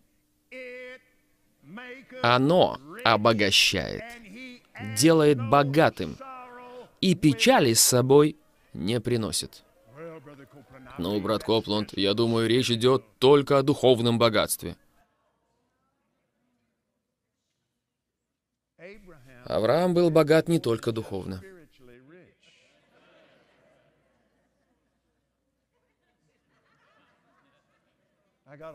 Я ухватился за это. У нас, Глории, когда мы проводили наше первое собрание в Оклахома-Сити, у меня не было достаточно денег, чтобы заправить машину и купить еду. У меня бензина хватило лишь, чтобы довести нас из Форт Уорта до Оклахома-Сити. Но мы отдаем десятину. У нас, как у отдающих десятину, есть права. Слава Богу. У нас есть права благословения. Когда я впервые это увидел, я все еще был студентом в университете Орла Робертса. Я подошел к Глории и сказал, «Глория, послушай это! Мы богаты уже сейчас! Слава Богу! Мы семя Авраамова! Мы богаты уже сейчас! И мы просто только сейчас узнаем об этом! Это лишь вопрос времени!»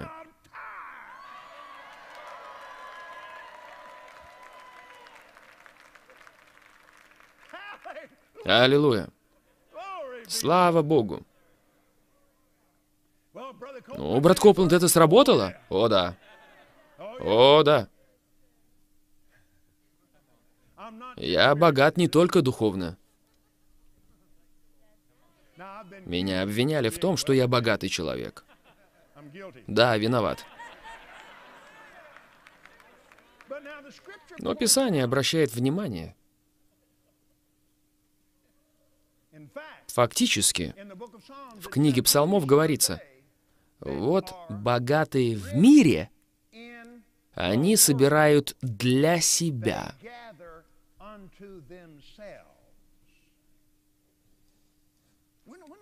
Что ж, это другие люди.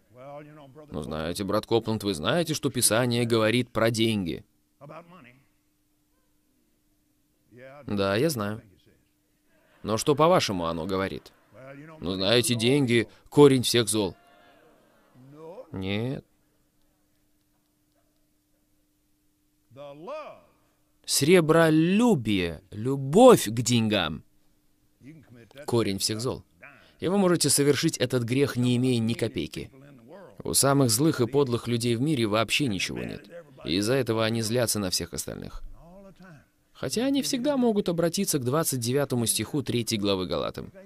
«Если же вы Христовы, то вы семя Авраамова, и по обетованию наследники. И послушайте, вам это понравится. Послушайте.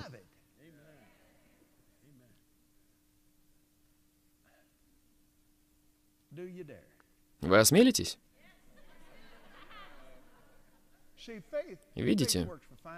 Вера работает для финансов точно так же, как она работала в рождении свыше. Это часть благословения Божьего.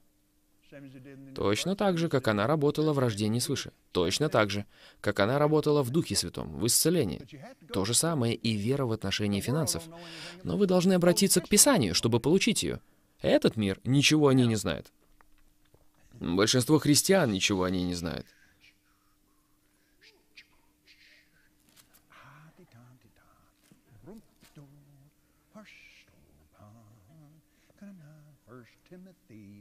Первая Тимофею, шестая глава.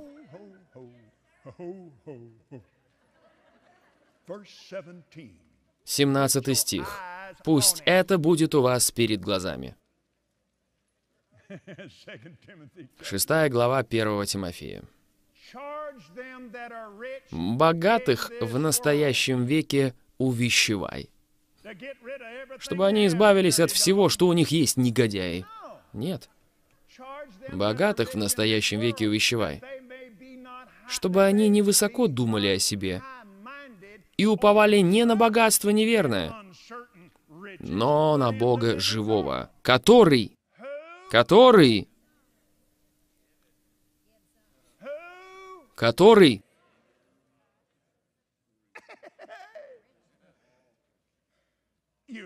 Да. У вас хватит смелости поверить в это. У вас хватит веры поверить в это. Я снова пристану здесь к Трейси. Ты готов? Который дает нам все обильно для наслаждения.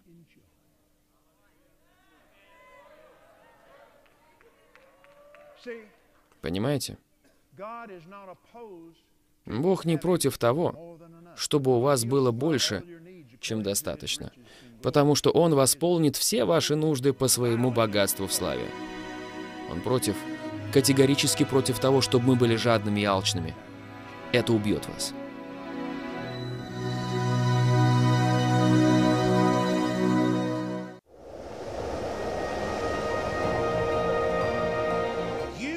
Вы не можете молиться молитвой веры и быть обиженными, поэтому преодолейте это.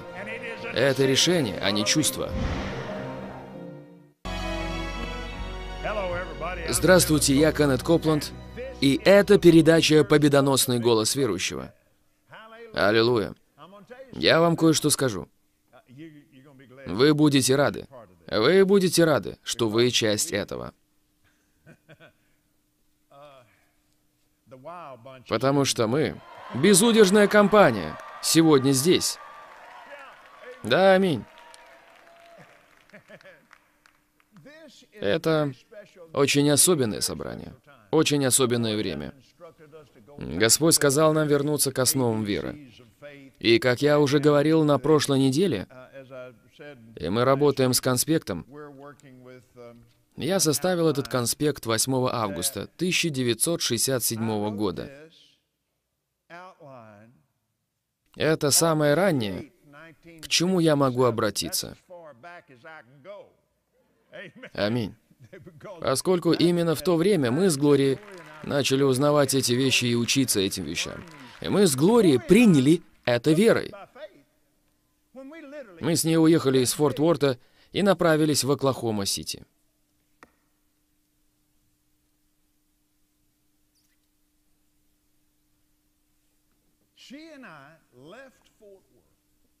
Но мы не стонали и не причитали из-за того, что у нас хватало денег только на одно из двух. Либо на дорогу, либо на еду. Поэтому мы потратили все деньги на то, чтобы заправить нашу старую машину. Но вы думаете, мы говорили, мы просто страдаем за Иисуса? Перестаньте. Замолчите. Я страдал и до этого, но это не было страдание за Иисуса. Я просто был беден, и у меня не было. О Господь. Но мы начали узнавать о вере в Бога. И мы начали ходить в этом. И мы начали верить тому, что говорило Писание.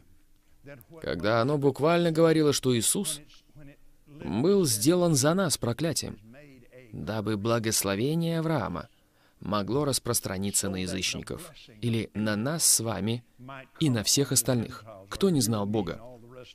Но теперь мы знаем Его. есть определенные вещи, которые принадлежат вам, потому что вы сонаследники с Иисусом. Не наследники низшего порядка. И Он Господь. Поймите правильно, что я говорю. Вы сонаследники с Иисусом. Он Господь. И это все благодаря тому, что мы в Нем. Мы в Нем. Без Него, как в этой песне. Но мы не без Него. Аминь. Мы не говорим этого, о, знаете, я просто чувствую, будто он оставил меня. Я просто чувствую. Чувствую.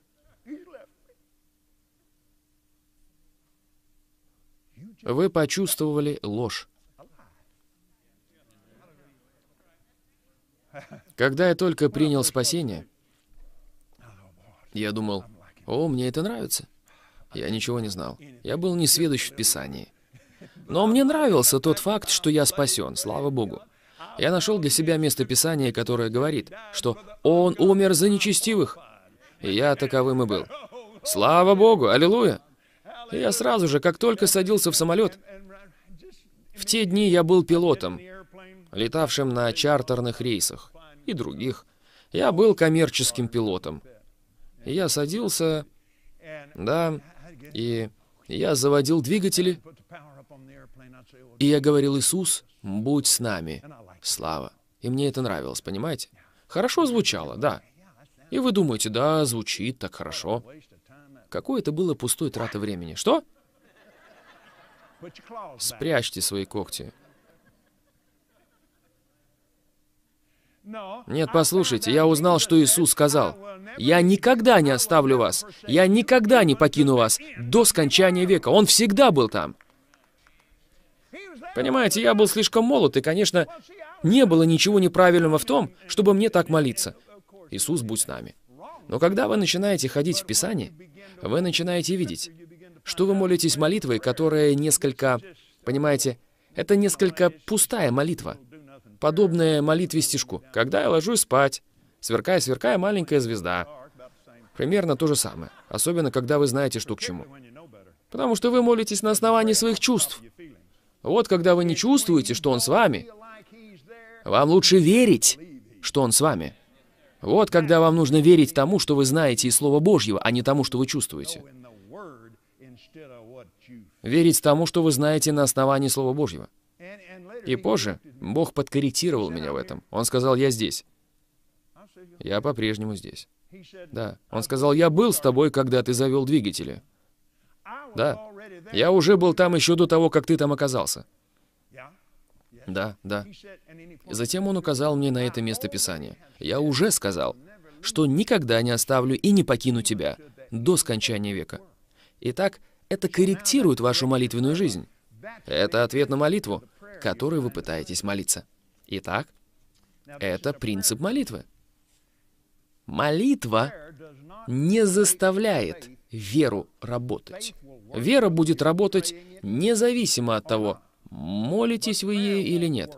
Но молитва не будет работать без веры. Вера заставляет молитву работать.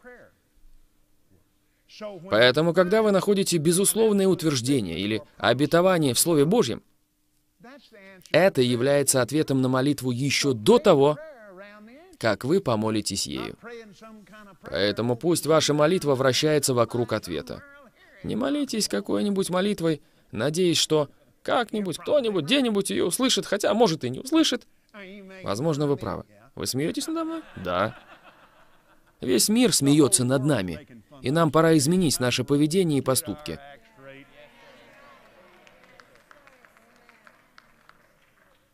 Итак, это название игры. Бог работает со мной, я работаю с вами. Да, я наступаю вам на ноги.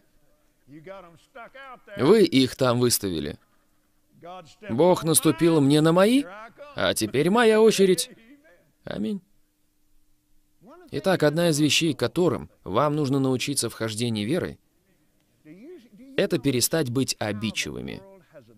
Вы замечаете, как этот мир стал слишком концентрироваться на том, кто и как их обидел? Я имею в виду, что одни люди чихают одним образом, а другие другим, и меня обижает то, как он чихает.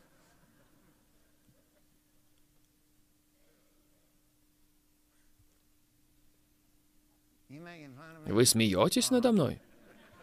Позвольте мне вам сказать, почему дьявол это сделал.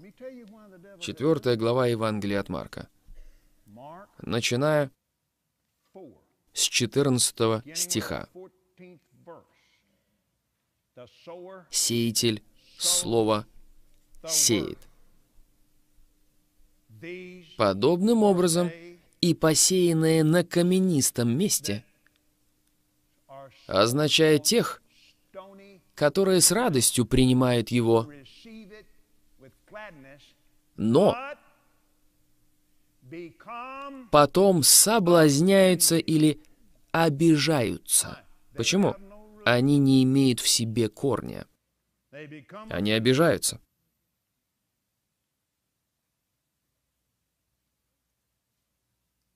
Иисус сказал в Евангелии от Луки,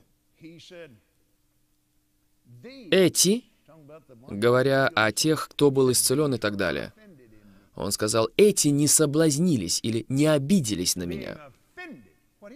Обижаться, что это? Это нарушение закона любви. Ну, вы знаете, что они обо мне сказали. А какая вообще разница, что они о вас сказали? Ну, меня это обидело. Да. Да.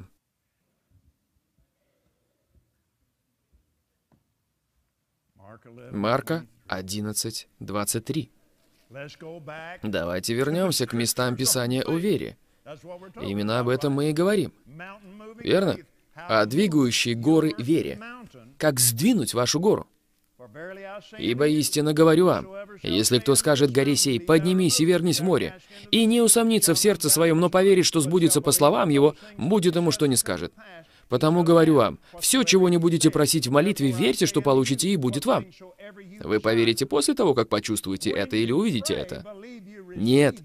Когда молитесь, верьте в это, и тогда вы увидите это. И когда стоите на молитве, тогда же. Это все часть этой же самой молитвы и системы веры. Когда стоите на молитве, прощайте, если что имеете на кого.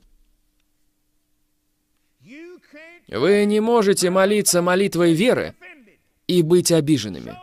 Поэтому преодолейте это. Преодолейте это. Преодолейте это. Поднимитесь выше этого. И это решение, а не чувство. Давайте сделаем вот что. Давайте возьмем грех непрощения. И мы разбирали это на вчерашней передаче. Давайте обратимся к 1 Иоанна 1.9 и будем использовать это в качестве примера. Вы со мной в этом? Хорошо, давайте использовать это, поскольку это настолько распространено. Сатана уж слишком успешно использует это. 1 Иоанна 1.7. «Если же ходим во свете, подобно как Он во свете, то имеем общение друг с другом, и кровь Иисуса Христа, Сына Его, очищает нас от всякого греха. Если говорим, что не имеем греха, обманываем самих себя, и истины нет в нас. Если исповедуем грехи наши, то Он, будучи верен и праведен, простит нам грехи наши и очистит нас от всякой неправды или неправедности». Итак, это Его обетование, верно? Итак, вот оно. Но девятый стих. Кто говорит? Вторая глава, девятый стих. Кто говорит, что он во свете, а ненавидит брата своего, тот еще во тьме. Кто любит брата своего, тот пребывает во свете, и нет в нем соблазна. А кто ненавидит брата своего, тот находится во тьме. Итак, кто ненавидит? Ну, я никого не ненавижу. Нет, ненавидите, да? Мы использовали свою собственную терминологию. Мы установили правила, что является ненавистью, а что нет. Что ж, это отдельный урок. Но позвольте мне показать вам, как это на самом деле нужно читать. Кто говорит, что он во свете и не любит своего брата, тот еще во тьме. Кто любит брата своего, тот пребывает во свете, и нет в нем соблазна. А кто не любит брата своего, тот находится во тьме. И во тьме ходит и не знает, куда идет, потому что тьма ослепила ему глаза. Хорошо, теперь прочитайте 23 стих 3 главы. «А заповедь его та, чтобы мы веровали во имя Сына Его Иисуса Христа и любили друг друга, как Он заповедал нам». Друзья, это не просто хорошая рекомендация. Вы верите заповеди, которая говорит «не убивай»? Ну, это было по закону Ветхого Завета. Фактически, в еврейском тексте говорится «не совершай такое преступление, как убийство». Есть 10 разных еврейских слов, которые переводятся как «убивать», точно так же, как и в нашем языке. Самоубийство, лишение жизни и так далее. Не совершай такое преступление, как убийство. Ну, это серьезный грех. Но Писание говорит, если вы кого-то ненавидите, в своем сердце вы сделали то же самое. У нас не было никакого понимания этого.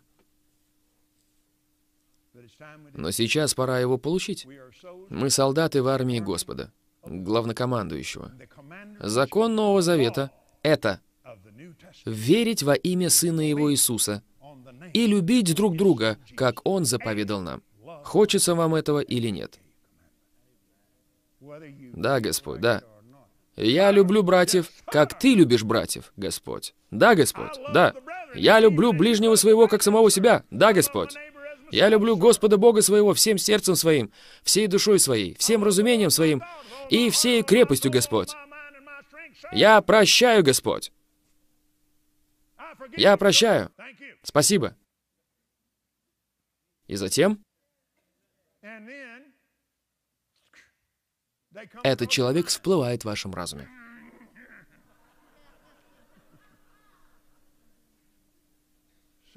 Господь, такой-то, такой-то прощен, Господь. Это акт моей воли. Я солдат. Я послушен. Чувства могут приходить и уходить. Забудьте об этом. Мы ходим верой, а не видением. Не тем, что мы чувствуем. Не тем, что мы ощущаем, но тем, во что мы верим. Я просто не представляю, как я могу это сделать. Вы не можете. Но Его благодать, если вы принимаете решение, я могу это сделать, потому что Он сказал мне это сделать. Да, но я так обижен. Исповедуйте эту обиду как грех и избавьтесь от нее. Исповедуйте это как грех и избавьтесь от нее. Я вам расскажу небольшую историю. Как-то раз я проповедовал в одном месте, в одном городе, и после обеда перед вечерним собранием, а собрания шли на протяжении нескольких дней, фактически в итоге они продолжались 21 день. И тогда, в то время, нам приходилось проводить такую долгую серию собраний, потому что никто... Ладно, я не буду в это углубляться, но в любом случае. Я не буду говорить вам, что я сделал. Вас это не касается. Но я сказал, Господь, я не пойду туда и не буду сегодня вечером проповедовать. Он спросил, почему? Я ответил, ты знаешь почему. Я не пойду. Почему ты не пойдешь? Но после того, что я сделал, я не могу идти туда и указывать своим большим притворным пальцем и говорить, так говорит Господь, тебе придется найти кого-то другого. То, что я сделал, причиняло мне душевную боль. Я не совершил ничего такого весьма ужасного. Фактически, за обедом. Что ж, я скажу вам, что я сделал. Я вышел из себя. И это было прямо во время тех собраний. И я не должен был себя так вести, и я знал это. И меня это мучило, и я злился на себя. Что ж, это грех. Вы должны любить ближнего своего, как самого себя. Поэтому я сказал, я не пойду. Господь спросил, почему? Я ответил, ты знаешь почему. Нет, сказал он. О чем ты говоришь? Я сказал о том, что я недавно сделал. Он сказал, Кеннет, я узнал об этом грехе не тогда, когда ты его исповедал.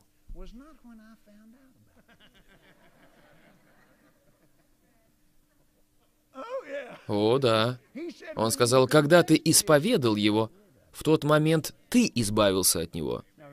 И помните, что мы читали вчера? Я, я сам изглаживаю преступления твои и не помяну их более.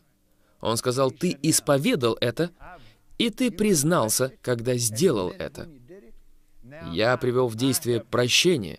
Если ты будешь в это верить, я очищу тебя от этой неправедности.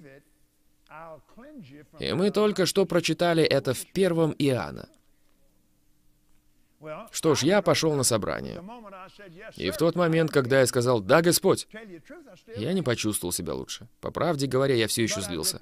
Но я покаялся за то, что злился. И я исповедал этот грех. И он сказал, «Он праведен простить нас и очистить нас от всякой неправедности. Поэтому я сказал, да, Господь, я сделаю это. Я больше не буду заводить этот разговор. Мне все равно, что я по этому поводу чувствую. Видишь вон того человека, я прощаю его, Господь. Слава Богу, он прощен верой, верой. Оно во мне сейчас. Верой Божьей Я прощаю его, и я называю его прощенным. И затем вы встречаете этого человека на улице. О, нет, я думал, что я простил его. Подождите минуту. Стоп. Подождите. Вы действительно простили его. Вы сделали это целенаправленно, потому что вам было так приказано. Теперь не попадайтесь на свои плотские чувства. Вы привыкли чувствовать таким образом. Ваша плоть по-прежнему будет так себя вести. Она не была рождена заново. Вашу плоть нужно распинать. Просто скажите ей «замолчи». Эй!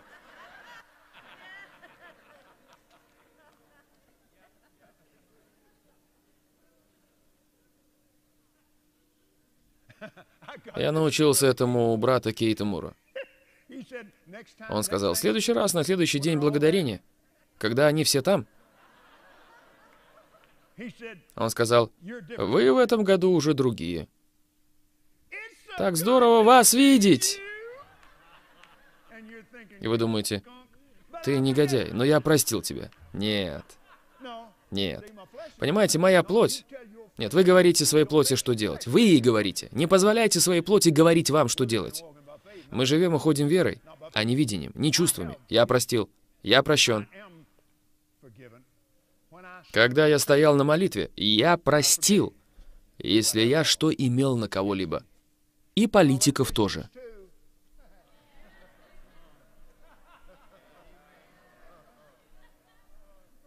Я не шучу. Это распространяется и на них. Но я просто не представляю, как этот глупец мог такое сделать. Вы когда-нибудь были там? Вы когда-нибудь испытывали на себе такое давление? Тогда перестаньте так говорить. Вы не знаете, о чем говорите. И не судите людей. Понимаете? Мы прощающие агенты. Ну, скажу вам, будь я на его месте, я бы этого не сделал. Как раз таки сделали бы. Будь вы на его месте, вы сделали бы то же самое. Ну, я скажу вам, я... Да, сделали бы. В той же самой ситуации вы бы сделали ту же самую глупость. А сейчас вы судили кого-то.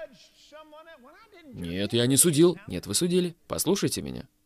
Сейчас, когда вы сказали, что вы бы такого не сделали, вы установили более высокую планку, и дьявол проследит за тем, чтобы у вас появилась возможность именно это и сделать. Потому что он поставит это на вашем пути, и вам придется отбиваться. Вы судите других по их делам, а себя вы судите по своим благим намерениям. Никому из нас не выдержать света такой критики. Вы не хотите получить по справедливости. Вы хотите милости. Милости. Вы хотите благодати. Благодати. Слава Богу. Хорошо. Итак, я прошу о том, чтобы быть свободным от этого греха. И во имя Господа Иисуса Христа я исповедал этот грех перед Отцом во имя Иисуса. Я прошу сейчас, и я получаю по вере мое прощение. И я обращаюсь ко всем этим местам Писания. 1 Иоанна 1.9. Римлянам 8 глава 1-2 стихи. Нет ныне никакого осуждения. О да, но я знаю, что я сделал. Нет, нет, нет, нет, нет. Давайте посмотрим на это еще раз. Потому что это должно быть сделано верой. А как приходит вера? От слышания. Вера приходит от слышания. Римлянам 10.17. А слышание от Слова Божьего. Итак, нет ныне. Скажите ныне. Ныне. Сейчас. Ныне. Никакого осуждения тем, которые во Христе Иисусе живут не по плоти или чувствам, но по Духу или по Слову Божьему. Аминь. Скажите это. Я верю в это. Я прощен. Я не осужден.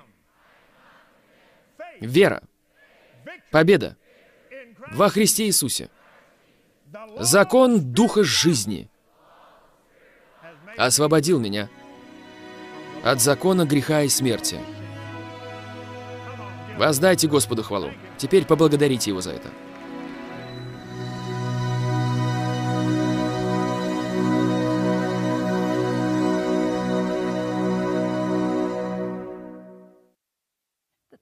Сегодня день пожертвований. И хорошо помнить, когда вы даете и сеете свое пожертвование, что во 2 Коринфянам 9.6 говорится, «При сем скажу, кто сеет скупо и неохотно, то также скупо и неохотно пожнет. А кто сеет щедро, чтобы к кому-то могло прийти благословение, также щедро и пожнет, и с благословениями. Поэтому мы определяем, как мы пожинаем, тем, как мы сеем. Пусть каждый из нас дает, как он для себя решил и намерился в своем сердце. Прислушивайтесь к своему духу насчет вашего даяния и сеяния. Не с неохотой или с огорчением или по принуждению, потому что Бог любит, получает удовольствие, ценит выше всего остального и не хочет обходиться без радостного, делающего это охотно, скорого на это даятеля, сердце которого в его даянии. Поэтому, когда мы сеем, важно наше сердце. Мы сеем, веря и ожидая благословения, будучи благодарными за то, что у нас есть что посеять во имя Иисуса. Спасибо вам, партнеры, за то, что вы стоите вместе с нами, благословляя нас, делая возможной трансляцию этой передачи по всему миру. Если у вас есть молитвенные нужды, напишите нам по адресу, который вы сейчас видите на экране, и мы будем за вас молиться. Посетите наш сайт kcm.org.ua. Там вы найдете много полезной информации. Я, Глория Копланд, напоминаю вам, что Иисус – Господь.